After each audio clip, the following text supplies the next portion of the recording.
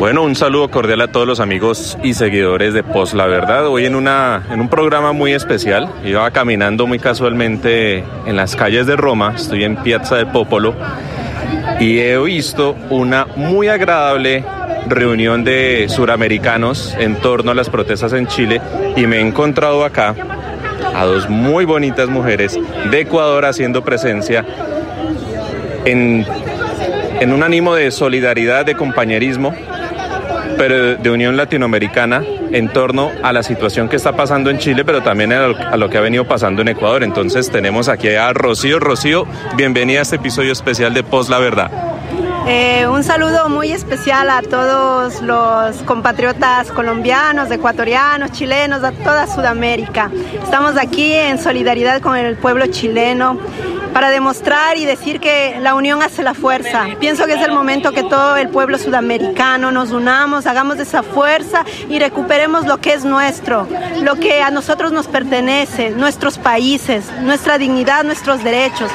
Es el momento de juntos seguir el ejemplo, así como lo ha hecho Ecuador, así como lo está haciendo Chile, lo como lo ha demostrado eh, Bolivia. Es el momento de que juntos recuperemos nuestro país y mandemos al carajo a todos esos sinvergüenzas que nos gobiernan.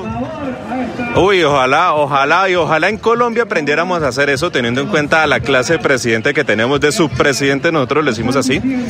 Iván Duque, que para nada nos representa, ni me siento representado, ni nada de esas cosas.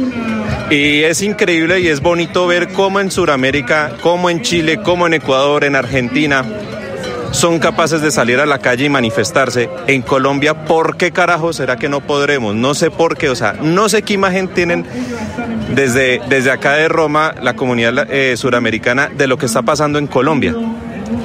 Eh, pienso que mm, hay un cerco mediático que viene, viene cubierto, nos cubre, nos cierra los ojos.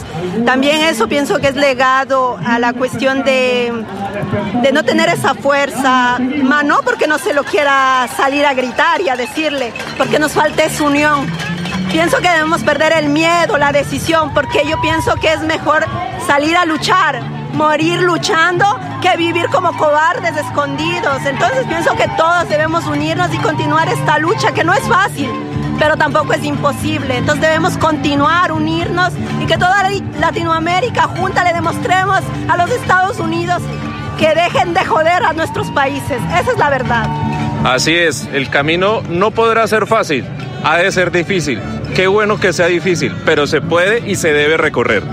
Así es, así es, toda Latinoamérica vamos a seguir, porque lo, no contaron que, que, hay un pueblo indignado, que hay un pueblo que va a salir adelante y que va a continuar con la lucha, porque podremos caer tantos, pero van a salir otros que van a ser nuestra voz. Eso es lo más importante. Fuerzas. Oiga, y qué buena canción la que está sonando justo ahora. Sí, sí, muy hermosa. Ayer un millón de chilenos llenaron dos plazas con música, Así. la prensa dice que ya saldrá con sus sus noticias baratas. Que castrochavistas, que financiados por, por, Maduro. Sí. sí, Como lo dijo en Ecuador, como dijeron también ahora en Chile, sabemos que esa es toda la mediocridad de los gobiernos, porque no saben ya encontrar un discurso factible para, para demostrar tanta mediocridad, porque aquí estamos, a nosotros nadie nos ha pagado aquí en Roma, lo que nos mueve es la indignación y el amor a un pueblo sudamericano que se merece la libertad y la soberanía. Es que a los presidentes se les olvida una cosa, ellos son servidores públicos, ellos están es para servirnos a nosotros, no nosotros a ellos. También recordarle eso a las fuerzas del orden, que ellos juraron proteger a su pueblo, a, sus, a, las personas que, que les pagamos no son pagados para venir a reprimirnos. Nosotros tenemos esos derechos y recuerden que hay derechos internacionales que un rato va a cambiar los gobiernos y ellos deberán dar la cara ante los derechos humanos, ¿eh? porque estos delitos son imprescindibles. Quindi ellos deben ponerse a pensar en lo que ellos están haciendo en estos momentos. La violación ante tanto derecho humano, ante los pueblos, ante las personas que están solo exigiendo del derecho a vivir libremente. Esa es la realidad. Y otra cosa, esos militares hay que decirles a sus familiares, a ustedes mismos también los están jodiendo. Entonces ellos tienen que ser leales, es al pueblo, no al presidente, no al que ostente un cargo eh, político porque esos cargos son momentáneos. Ellos se van, pero no se van a acordar de ustedes cuando se vayan.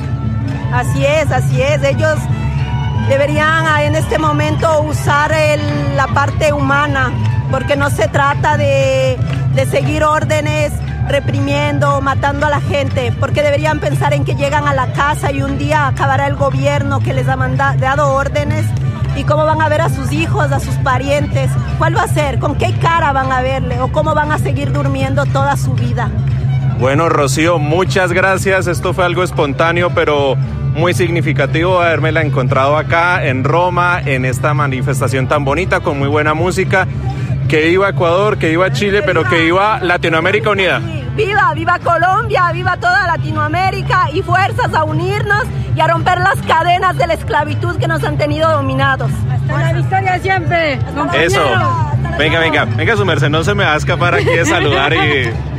Un saludo a todos los hermanos latinoamericanos, porque somos hermanos, hablamos el mismo idioma, unirnos, unir fuerzas y luchar y sacar adelante, recuperar lo nuestro, la nuestra dignidad, la nuestra soberanía, el nuestro patriotismo, porque no debemos servir a, la oligarquía yanqui y toda Eso, eso, eso. No, muchas gracias, muchas gracias. Y cuando vayan a Colombia, más que bienvenida, todos somos hermanos, todos somos Latinoamérica. Gracias, gracias. Igualmente en Ecuador. Fuerzas a todos, hermanos.